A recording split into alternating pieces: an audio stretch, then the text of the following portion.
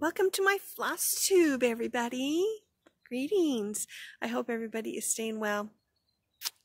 And now it seems like more and more people are getting sick, but hopefully all of us are holding in there and staying self quarantined as much as possible. But it's no fun, is it, to be stuck at home? I know that we've talked about how um, we have all built up a stash. It shouldn't be that big of a problem to keep yourself busy. But for those who crave other um, entertainment or other people being around them, it's a little rough. It's a little rough. So I hope y'all are staying safe. Um, I keep looking over this direction because I hear things and sometimes it's a bird, um, or some other things. So, um, sorry about that. anyway, um, I'm going to be having several different things going on with this video today. Um, a few different ways of showing stuff. I think I was watching um, Pony Patcher Stitcher, um, and she did something different when she was showing her WIPs. I'm like, I really like that because um, you've got two two reasons. You don't have to worry about light shining behind your stitch project and trying to cover that up. You also can control it laying down instead of holding it up um, and having it flop over and whatever else. Um, it just seemed like yeah, I don't have to, I'm not showing my face while I'm doing it, but you've got a little bit more control over it. And that was the other thing, is usually when you're holding up, you're trying to peek around the fabric or whatever you're holding to see what the camera is doing. Sorry, I'm outside so you can hear the kids as well. Um, so there's a lot of things that are going on with why I thought, oh, maybe that'd be easier and a little nicer to show it that way. So when I show my WIPs and things, then that's going to be what's what's going on. Um, so with that, that's our neighbor. For whatever reason, there is a bird sitting on the side mirror of this guy's truck and it won't go away. And it just sits there and it flaps around. And I think it's probably seeing its reflection and thinking there's another bird there. But yeah, it will not go away. So this little kid is yelling at the bird that's sitting on the mirror. Anyway, with that, uh, let's hop to some other things that are going on, the WIPs and all that, and uh, we'll come back and talk about some other things too. Okay, so here is um, my WIPs, and we'll get to haul in a minute. When I last left you for my last video, I think I had just needed to switch over to this. Not 100% sure about that. But this is what I worked on for 10 days. And this is, I believe, a Russian pattern. Really, really cute. And this is how much I've gotten done for it. Um, as you can see, when I put my Q-snap on here, it's eight inches, so it's just wide enough that it makes it hard to get to these edges over here. So over here is going to be a handle, and over here is going to be a handle. And I just can't, I couldn't really get those finished up because it was, you know, it was getting hard to reach to those parts, even though I kind of made it work a little bit. Um, teacup that's sitting sideways here, teacup that's sitting a little sideways here, and this one's going to be pretty flat because um, below this is where the stacked saucers will be. So you can see this is the one that is right here. Um, so it'll it'll sit flat. The other ones will all be tilted to some degree and angles um, as they sit inside each other. So it's coming along. It's going real pretty. Um, I got quite a bit done because I think all I had done was like this area here before. So I worked, finished all that other area in those 10 days. And I will show you now what I have moved on to because it has been as I mentioned, those 10 days. And now I need to do something else in order to keep on my schedule. So I am moving on to this, which is the Apple Blossom Sampler. Very cute. It's a quick, it's going pretty quickly um, because it's not very wide. So it doesn't take a long time to get, you know, width done. Um, I did have to frog a bit at one point. Um, this branch right here that runs up through here, and then the branches up here. Because when I originally did it, I got down to here, and the next step for this part right here on the brown, I had stitched over these two. So I'll get a little closer. I'd stitched it over these two, so it's like I jumped over here instead. So it would have, it covered up this part here that you had to cross over for the G. And so everything was off by a couple of stitches. So not only did it crop, cover this up, but it would have run through this part right here. Um, it just would have all been a big hot mess if I left it. I'm all for leaving it if it's not going to matter and it's okay. Um, not so much if it blocks something I can't fix and it's not going to work at all. Um, so I still have, for the part that's stitched, I still need to do the, the beak on the bird, but that's um, it's a long stitch and I'm going to wait until I finish the regular stitching. His eye is in there. It's um it's like a charcoal color, so it's really hard to tell the difference between regular the brown and the eye. That's okay. The beak, I believe, is going to be the same as the feet, so it'll show up. Then in this bunch of this flower, the center flower, and inside this G, there's some specialty stitches. So I am going to wait on those. I'll come back and get to that as well. But everything else is looking really pretty. Um, the one thing I did do different is the cream, this white creamy color. I did do this with two threads instead of one. Everything else is one thread. And the reason I did that is that these these are all in one, but they kind of blend into the fabric a little better so they don't show off kind of the sparseness of the stitch. So I'll get, oh, let's see how close I can get. I mean, you can see pretty well. It's, it's a little sparse and you can kind of see that. But when you do it with the white, it contrasts with that fabric so much that it really stands out a lot. So I went ahead and used two threads when I stitch with that color, just so it stands out a little better and it's not like, wow, did you forget something there? It doesn't look quite finished. So there is what I have been working on with this. A little side pattern that I have been working on. Um, this is something that I take when I need something quick to do or something small. Um, I mean, not necessarily quick, but um, it's easy to transport. And that's these. Sorry about that. The little tea balls. I am working on large one. If you've gotten this pattern or seen anything about it, you know that there are patterns for small size and, and um, large size tea balls. And I am working on the, um, the larger one. I'm actually doing this pattern here, and this is what I have gotten so far. Need to finish uh, a little bit more of the interior, that star, that stitching across and then I have some vines to do around to connect the flowers. And inside each of the flowers is also that creamy white. Um, there's see, there's one stitch in all of them, and that requires that color. Um, in case you do want to do this and haven't started it yet, if you know, I mean, if you think about it, when we're cross stitching, we're cross stitching and everything is very vertical and horizontal, and we got those nice boxes. Well, with this, so this would be how it sits straight up and down if I were to hold it and dangle it. And you should notice it's a little off-center. That's because the grid's off-center. So I had tilted a little bit in order to get those vertical and horizontal lines. So run into that. Also, you notice at the corner there, that red flower is a little elongated. Every corner is like that. And it just does that because of the nature of this mesh and how it's curved around. I don't care.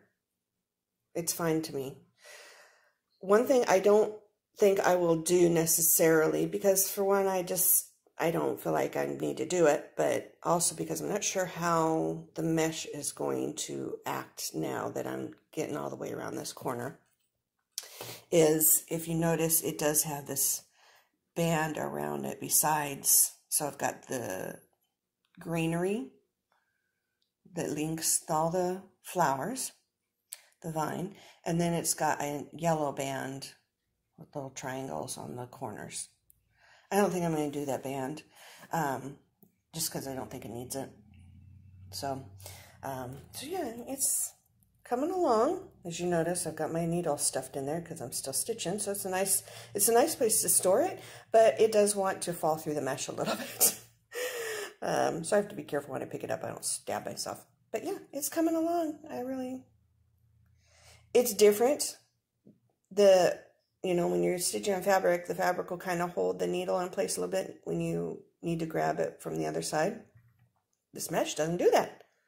Not so much. so it's a little bit more different. And there's Penelope. Um, it's a little different to work with in that respect as well. All right, let's get on to some haul. Put those things over there. The first one that I have, um, or first two, are older patterns. It's not anything new that was released. It was just in my bag at Acorns and Threads, and I promptly had forgotten about them. so when I was there shopping for market, they handed them to me. I'm like, oh yeah. So I better buy those. Um, the first one is Harvest Delivery. Very cute. I love the horse. I have the summer delivery. The horse, I love it. The wagons are very nice too. The horse just really gets me. And the other one is, this is the um, scissor roll. And this is the autumn one. Um, so I'll zoom in a little closer, you can see. So we got our autumn one. Uh, not sure if I have the mouse, but um, probably do because I have a lot of the mice. Um, Hubby just walked in. I'm sure he doesn't want to be on camera. Nope. no, thank you. anyway, um, so yeah, like I said, I have the summer and the spring one. I don't know if they have a winter one or not. Don't know about that. I need to check on that because it would be nice to have all four seasons. So there's that. Now, these ones are the haul from Market. I don't have that much, but it's I'm going to show you what I got. Um, Jenny's house. Not that I watch everybody's video, but I haven't seen this one. So I don't know if it's just not something somebody was interested in. Um, I found the tree very interesting. It looks a little prickly to me, but um, just the way they the branches. But it's very, I just, it's unique. Um, love the flowers. Also love this birdhouse over here. Really cool. Then the next one I got, which you all have seen, by the way, he ran creeping out of here, my husband, so that I wouldn't accidentally film him. Yeah, I wouldn't do that. So anyway, um, I'm sure you all have seen this. I got both patterns because they do um, go together. They were designed by two different designers, but they were designed in um, conjunction with each other so that they would work together with each other. As you notice, the pattern around here fits with this around here. You got two birds, even though they're different. And um, the saying works well together as, you know, a token from my friend, from my heart to your heart, or hand, excuse me. So um, you can stitch this separate, or you could stitch them as one piece. Um, they're meant to be done either way. So I really, really like that. It's lovely. Lovely, lovely. Then I have one more big thing to show you. Um, let me see if I can find the tag for this so you can see. So this is an Aida. I don't typically do Aida. It's a softer one. It's not really, really stiff. Um, but it's the Tidal from Picture This Plus. It's just gorgeous. I love the um, color of it. So I like the shade, but I also like the modeling on it. Just it's so pretty. In fact, I'll I can open it a little bit more so you can see more of it. It's really, really pretty. But I got that because I want to stitch these on it. So this designer, uh, when I was asking um, while I was there, they don't typically have this designer there, there, there, excuse me, my tongue, get my tongue out of the way. Um, and I didn't think so. I hadn't seen these before, so I wasn't sure. So I wanted to go ahead and get all the patterns that I did want um, even though it's a larger amount than I would normally buy at one time. There was a total of eight of these patterns, but I only got six. Um, I only saw seven of them, so there might have been one hiding somewhere. But the seventh one I saw was much plainer, looked like a normal house, so it wasn't anything special, and so I didn't get that one. And I didn't know what the eighth one, one was. Because I didn't know what it was, and I had an even number because I've got six, and I'm going to stitch them all on this one, you know, as one piece, so they'll all be on here. Um, I just decided to stay with the six and not worry about having an odd one that I would have to fit in somewhere. So there's that one. There's that one. There's that. There's that one. There's that one. And the last one, little mushroom. So I'll spread these so that you can kind of see them all together. I'll kind of zoom up a little bit. Mm. So you can see them all. They're very cute. I love fairy gardens. So this will look very nice, um, not only on the material, but uh, just so cute. Cute and whimsical. Um, they did have the fabric that is called for here while I was there. It's darker than the fabric I got and it's just plain. It's, it doesn't have any modeling on it. Um, but I really like the color that I got. I liked it better. And so I had pulled the threads for one of these houses. I don't know which one it was. Um, but considering they're fairly similar in their color and they might require all the same colors, I didn't look that closely. Um, I pulled the colors, they're all DMC, and I stuck them on the fabric, and they look all right. They look fine. So it's not like I'm going to have something really funky and weird on that fabric that I don't, I'm not going to like. So there we are with that. It's all of the haul that I got from market. Um, I typically don't buy a ton um, because, for one thing, usually you can reorder um, something if you really, really see something you like. Uh, so it's not like it's going to disappear usually, and I can get it later. So there's just a couple of things that I really thought I wanted to have right now. I don't know when I'm going to get to stitching them because, as y'all know, I have a year's worth of stitching to do. Um, so unless I break that, you know, the tea balls weren't part of my thing either, in my year of stitching stuff, but that's something I really only work on about once a week. Um, so it's not like I work on it a lot and it's not something that has to be done right away. Obviously, it's not Christmas time. So when I get to these, it's either going to have to wait until next year or um, I kind of crack them out and start working on them anyway. I don't know. You know, our years and our days fly by so fast that it won't surprise me if it's not until next year that I get to it. But, you know, it's the way it is. It's the way things happen. So hopefully y'all are having fun with your all your stitching. So now that the weather is getting nice, there's my lovely yard. Yay!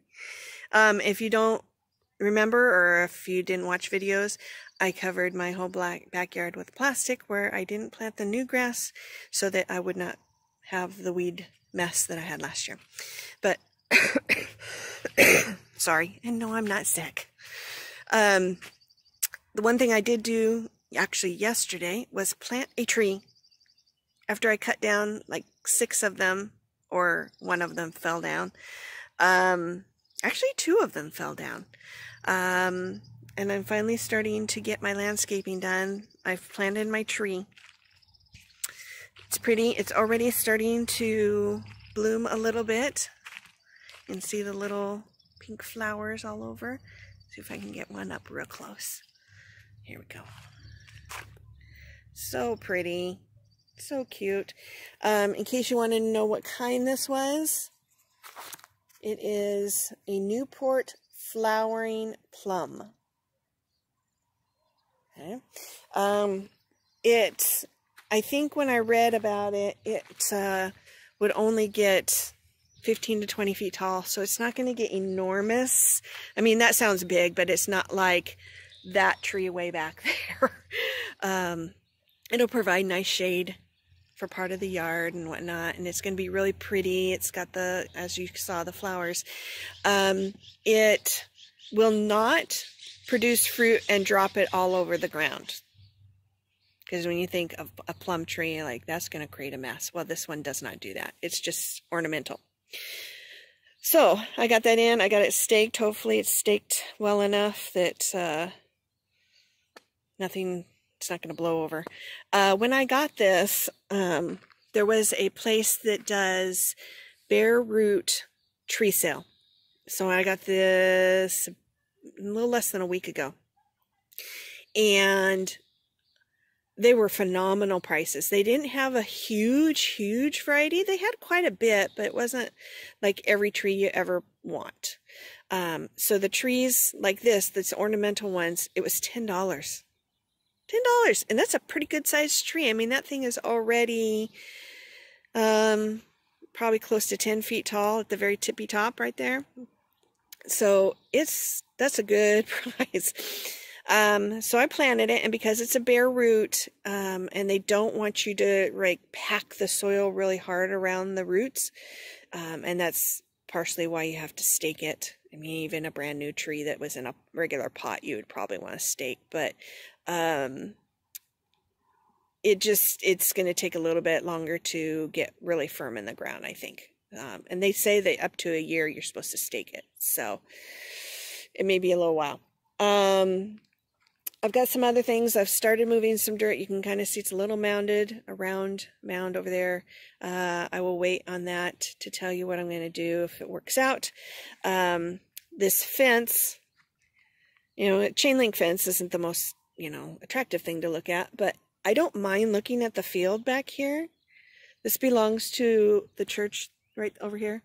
Um, I mean, I don't really care to look at all of those, but I don't mind looking at this field and it's pretty. And the kids aren't back here that often. They're, they're hardly back here. Um, but the problem that I've run into is I think the person who did landscaping and mowing and all of that has, is a different person. So what they used to do, they've got a riding mower and what they used to do was, um, shoot out the side the clipped grass the last person who did it, which is why I think they have somebody new, um, they don't have it shooting out the side. They've got it funneled up to the back of their mower and it comes up high, like the seat height, where you could attach a bag and um, shoot it into the bag, and then you've collected it. well, they didn't put a bag. They didn't put a bag on it, and so it just shoots and it just kind of goes everywhere.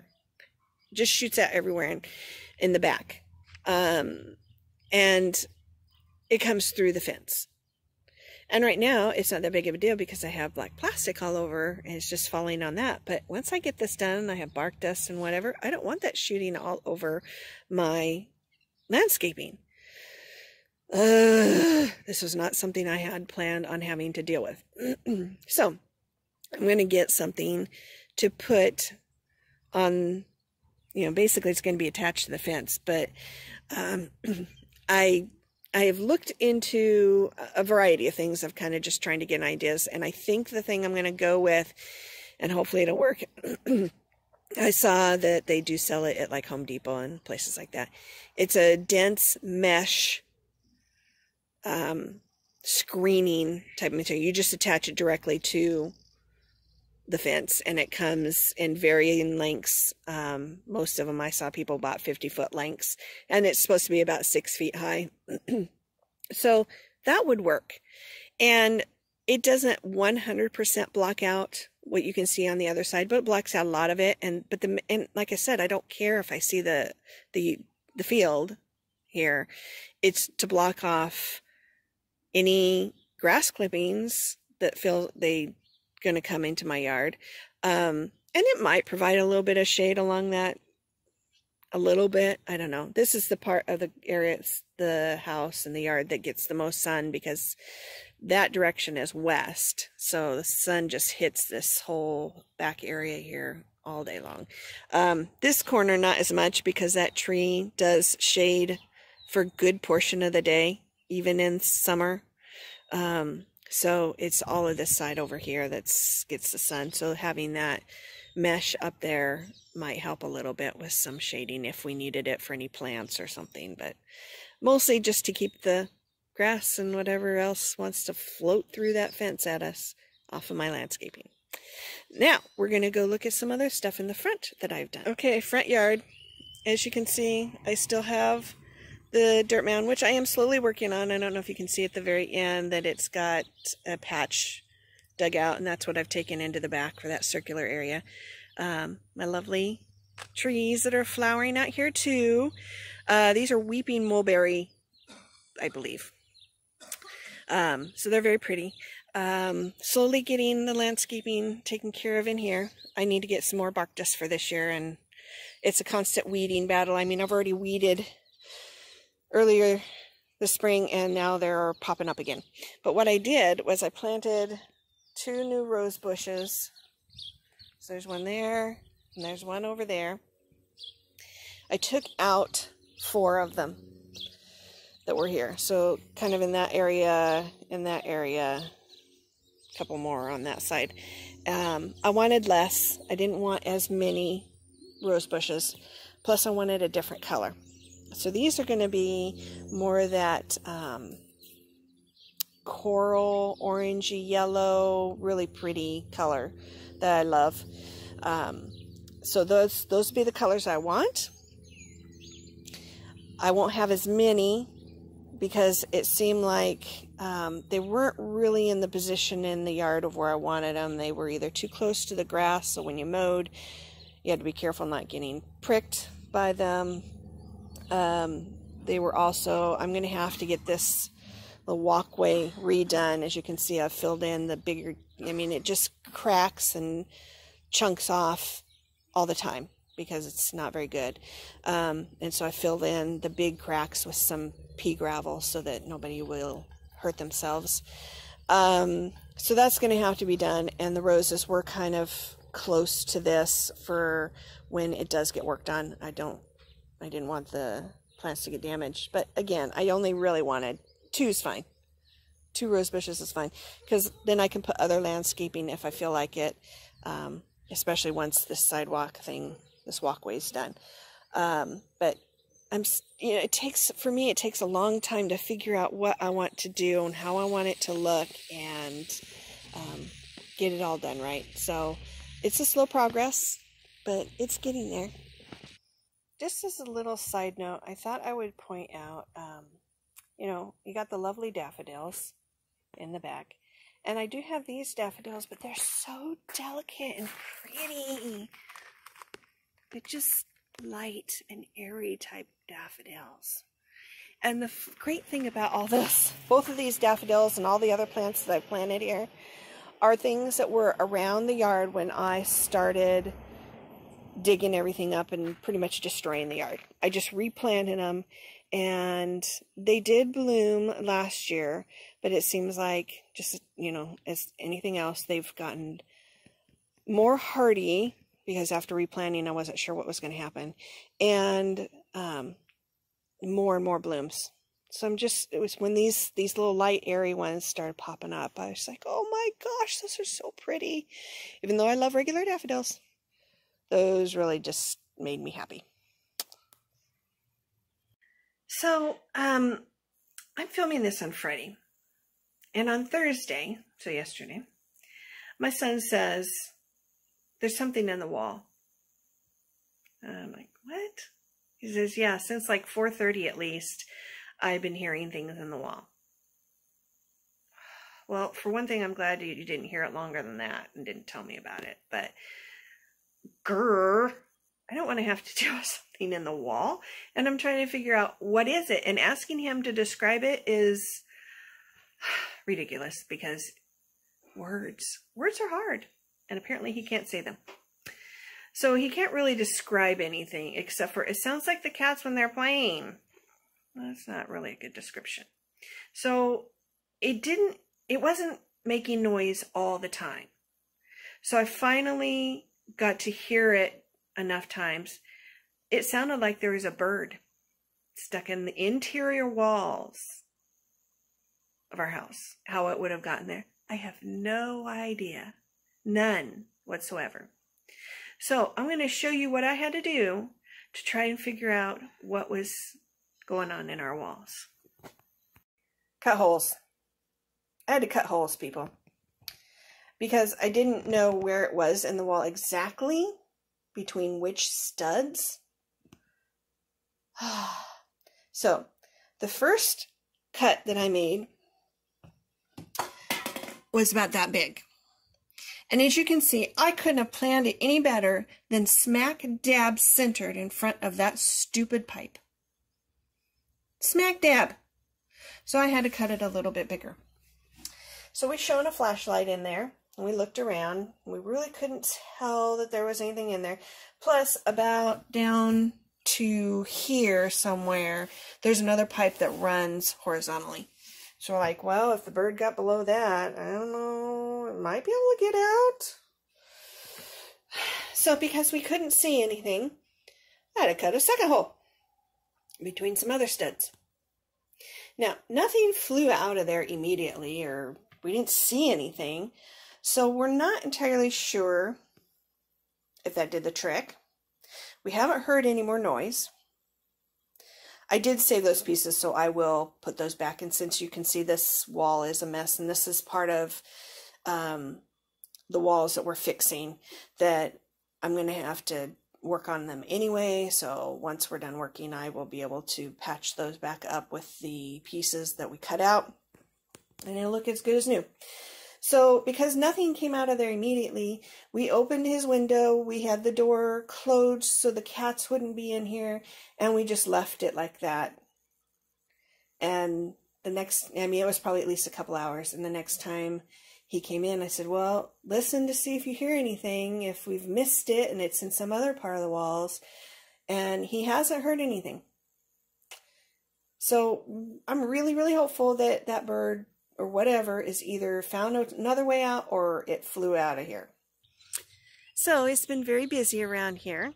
I have gotten a lot done on my stitching because I usually do that in the evenings and with being self-quarantined on top of it um, gives me a little bit more stitching time than maybe I had had before. Um, yesterday with all the yard work that I did, my back was killing me. I mean, it hurt so bad. Um, just, you know, the new start to the, to the season and you're just not, your body's not used to it yet. So I took my aspirin and my heating pad and sat down and stitched last night for a good long time afterwards. Um, but yeah, I still got a long ways to go and um, lots of stitching to work on. We're going to have a lot of time to do that. I think that there's going to be a lot less that people can talk about um, because they are stuck at home. So it's going to be whatever they are able to stitch on, which may be a lot, maybe a lot. Um, I try not to do too much because it does start to hurt my shoulders and my back. I get that knot in my back in a certain spot when I stitch too much. Um, so with us staying safe and staying well, please keep in mind that not everything you hear is going to be accurate. Be very careful about who you're listening to, as well as how much you're listening to it. There are things like updates that I will um, find out about and listen to, but a lot of the other stuff, like the media hype and all the numbers that they're projecting and this and that, that I'm not listening to it because for one, it's not always accurate, and two, um, I've watched some little um, YouTube videos of doctors, well known doctors, that are very, very mad at the media for what they're saying. So please be very careful about what you listen to. Um, we all know what we need to do wash our hands a lot, stay safe, like being away from other people as much as possible. I know we probably have to go to the grocery store once in a while, but um, that's really all you need to know. That's all you need to know. Um, unless there's other quarantines, but if we're already self quarantining, then there isn't too much to hear. Um, but yeah, we we need to be careful about how much we listen to. It's I think it's it causes all that panic when it doesn't need to be there. Um, so yeah, with that, I am going to head out and do whatever I'm going to do for the day. Um, I'm not going to do yard work today because I need to give my back a break. Um, maybe tomorrow I'll be able to get in there and get some more done. Um, obviously stitching later on, but maybe it's just things like working on my son's walls in his room. Um, how many of us are doing our deep cleaning, spring cleaning because we have nothing else to do? Which isn't a bad thing. My windows really, really need to be washed, so maybe I'll get out there and do that. Um, it's been a beautiful week here in Oregon. Um, today is supposed to get up to like mid 60s. Very nice. So we're going to have a nice day today. And then Saturday and Sunday, it's supposed to still stay nice. But Monday, the rain's back like all week. So I've got to get things I want done outdoors as much as I can get done. I can't get it all done in two days, but as much as I can get done, I need to do it. So I will stay busy. All of us will. I see a lot of people who are working on their outdoor stuff because they have nothing else to do as well. So with that, I will uh, say goodbye and hopefully y'all are keeping yourself from going crazy and having a good stitching time. So we'll see you next time. Bye.